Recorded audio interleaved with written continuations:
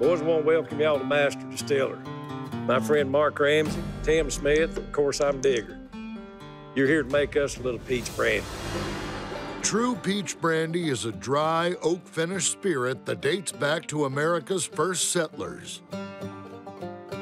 Traditional hard cider ingredients, apples and pears, only flourished in the north, so resourceful southern colonists used the peaches that had been planted by Spanish explorers a century earlier. The new peach cider, called mobby, turned quickly in the warm climate. To make it last, they distilled it in copper pot stills, storing the resulting high-proof alcohol in oak casks. Aged peach brandy became a favorite in colonial cocktails such as Kentucky's original mint julep. And by the 1780s, it was worth more than any American spirit. But the high price was its downfall. Cut it off? All right. A friend of mine told me, he says, you ain't a moonshiner if you ain't got a coon pecker. He gave you one? Yeah, that's cool. Hey, That's a good to you. friend.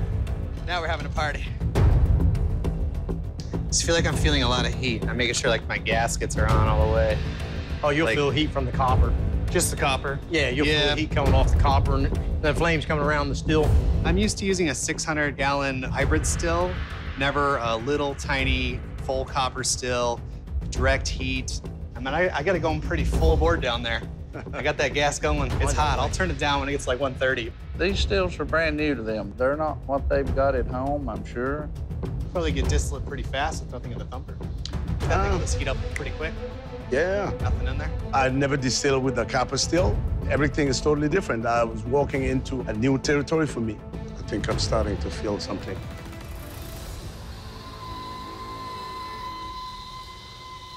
Oh, that's your water? Yeah, this one's kind of hard to get adjusted. I've never run on a copper still. I always use stainless. The stainless takes a lot longer to heat up, so it's going to be a big trial for me. Copper, though more expensive than stainless steel, has been the preferred material for making stills for centuries. During fermentation, the yeast in the mash produces alcohol along with bitter tasting sulfur. When the mash is distilled, the sulfur reacts with the copper to produce copper sulfate, which sticks to the still, removing it from the alcohol vapors to produce a smoother tasting final product. It's a waiting game. But because copper conducts heat at a rate 20 times greater than stainless steel, proper temperature control is essential to prevent scorching. Well, we got liquor flowing. It's keeping that hot. Yeah. That shouldn't be hot like that. You know, for how quick we're running I it, mean, I mean, down here it's okay, but I mean, right in here, she's pretty hot. These small stills are a different animal. They, Oh, they're a little believe more me. finicky, ain't they? Believe me, yeah. They leave way less room for error. Very touchy, very sensitive steel. Oh, yeah, that's some big bubbles in there. If you make it less than 100 proof, the spirit will come after you. Ah. You're running pretty fast. Probably like seven, eight jars in here. When we start drinking. The fact, the peer pressure here, they're not in a race against each other. They're in a race against the clock. I'm on my 12th jar. Boys, are you seeing all them jars? I'm good. I'm just antsy. Just turned the steel wide up and just ran. What the hell's going on? I started feeling maybe I was going a little too fast about an hour in when I was already probably had a jar or two. That's like 150. I hope that all of this tasting, tasting, tasting has not confused his palate. And alcohol will cloud good judgment. Oh, I think we got her here. It's all good and clear.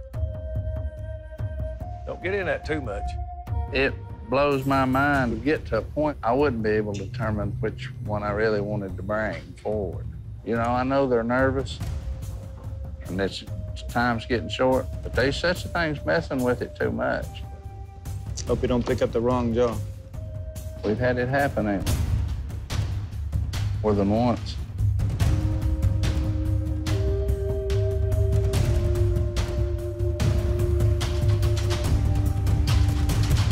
All right, Doug. All right. Good. Thank you. Here comes Tyler. That's the one, huh? Here comes Leo. That it, Liquid Leo? of the goddess. Yeah? Yes. All righty, buddy. Tim, pour some liquor and let's get All the right. Well, this is Leo. That's Leo. Yeah. good clear jar. Now, they didn't, none of them temper with any water, did they? No, I don't think none of them did. I don't think they did either. Got a good brandy nose on it. What the hell? A different smell than I'm used to. I think it just has a mean bite to it. I think he's got some of his heads in it. The first run's never going to be totally perfect. Over there, he's got a table full of jars. I think he's got the wrong jar. That'd make a bulldog break its chain. Moving on. Mr. Tyler here. It's so many out there at 12 different jars. Hope it's not too harsh. It's not unpleasant, but I can tell the way it flashes across I my mean, tongue. it's, It's, a high. Moving on. I Think Dougie's gonna make a difference? I hope he does. I'll give you, I'll give you a little bit more then. I hope, I hope it's good. It's going to be kind of interesting to see what the judges think. Still fiery.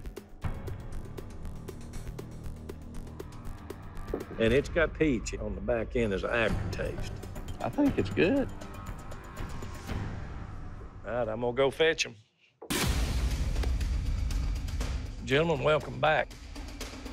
Before we send you off to the barrel house to choose your wood with Tickle, I'm going to tell you the order that we've decided to rate your liquor. Leo, very clear, good high proof.